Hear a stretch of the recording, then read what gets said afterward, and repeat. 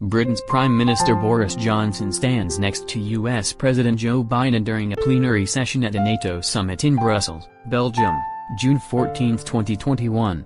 Olivier Matthys slash pool via Reuters. Washington, August 17. Reuters, U.S. President Joe Biden spoke with British Prime Minister Boris Johnson on Tuesday on the situation in Afghanistan and they agreed to hold a virtual G7 leaders meeting next week to discuss a common strategy and approach, the White House said. The two leaders discussed the need for continued close coordination among allies and democratic partners on Afghanistan policy going forward including ways the global community can provide further humanitarian assistance and support for refugees and other vulnerable Afghans, the White House said in a statement.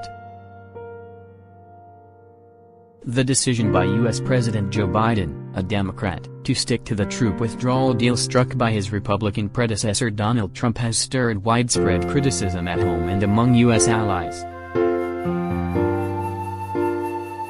United States and Western allies resumed evacuating diplomats and civilians on Tuesday, the day after scenes of chaos at Kabul airport as Afghans thronged the runway.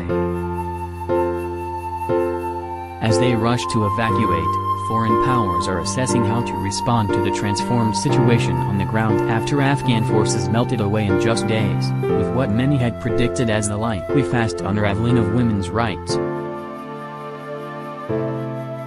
A Downing Street spokesperson said Johnson in the call with Biden stressed the importance of not losing the gains made in Afghanistan over the last 20 years, of protecting ourselves against any emerging threat from terrorism and of continuing to support the people of Afghanistan, a Downing Street spokesperson said.